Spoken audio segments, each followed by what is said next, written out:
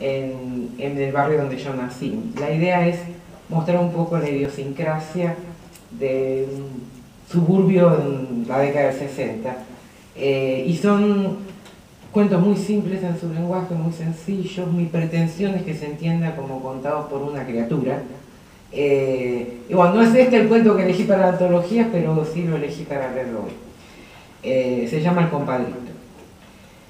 Seguramente en barrios como este, en los albores del siglo pasado, se habrán tejido historias de taitas y malevos de sombrero y pañuelo que se batían a puñaladas como los personajes de los cuentos de Borges. Sin embargo, para la mayoría de nosotros, esos personajes solo existían en las letras de los tangos que sonaban incansablemente en Radio El Mundo. Lo más parecido a un compadrito que llegamos a conocer era una versión casi moderna del típico atorrante argentino. Vivía al lado de mi casa y pertenecía a una familia tan numerosa y pintoresca como para llenar varios cuentos.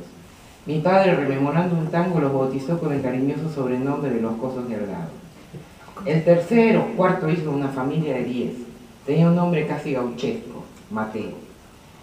Corrían los tiempos más prósperos que yo pueda recordar, aunque los mayores hablaban de un deterioro de la economía con respecto a épocas previas.